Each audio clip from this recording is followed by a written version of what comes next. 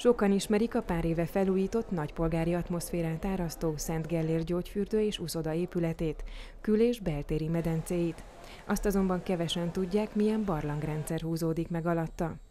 Nagy Antal Anikó, akit nemrégiben választottak meg a Milleniumi Polgári Kaszinó elnökévé, ezzel a meglepetéssel szeretett volna kedveskedni a baráti körből alakult egyesület tagjainak.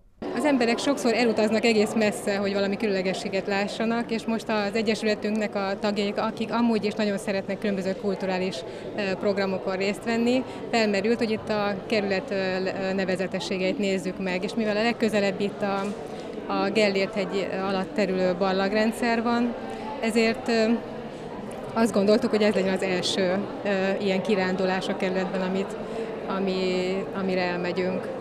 A Gellért aulájában volt a gyülekező a csodás szobrok és a színpompás ólomüvegbe világítók alatt. A barlangtúra az ősforrás megtekintésével kezdődött, amit 1896-ban az akkor még Ferenc Józsefről elnevezett híd építésekor betemettek, és a föld felszíne alá került.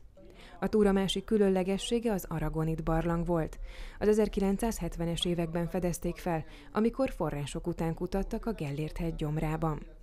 A belső felszínét borító karfiolos képződmények miatt karfiolos barlangnak is nevezik. 1960-tól 70-ig tartott annak a különleges, több mint egy kilométeres alagútnak a kiépítése, amelyen keresztül a Gellértből a Rudason át egészen a Rácfürdőig el lehet jutni.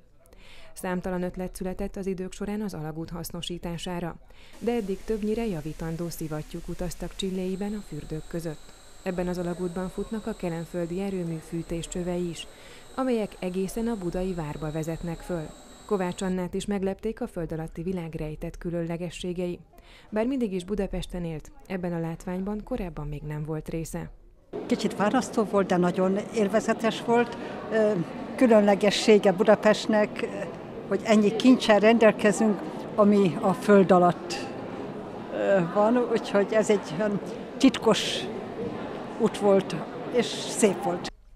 A 15 éve működő Milleniumi Polgári Kaszinó Egyesület székhelye az Orlai utcában van. Programjaikhoz bárki csatlakozhat.